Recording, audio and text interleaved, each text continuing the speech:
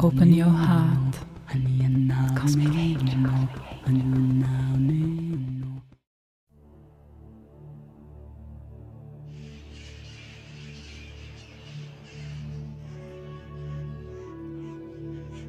It wasn't a plan, it just happened.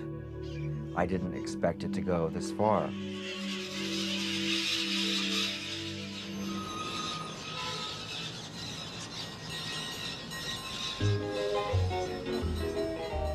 I've been involved with these birds for five and a half years now. Whoa! They're wild birds.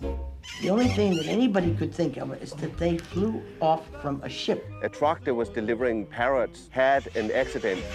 There was this crazy woman who, who had a store, and she opened up all the doors, and birds flew all out. I saw these wild parrots. They were a big mystery to me, and I wanted to find out who they were. I was the only one studying them. I was always worried that people were going to think of me as eccentric. How do you get so attached to an animal?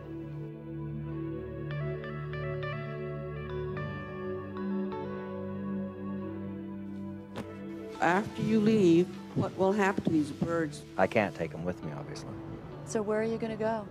I have no idea. I'll miss you, Mingus. We do a lot of bad things to animals because we don't believe that they feel anything. They're afraid of death, they're afraid of injury, they're afraid of being alone. Like us. Well, I got me a roof, and I got me some clothes, and I eat real good, man, I overdose. When it gets dark, you know, I turn on the light. Put on my shades when the sun's too bright.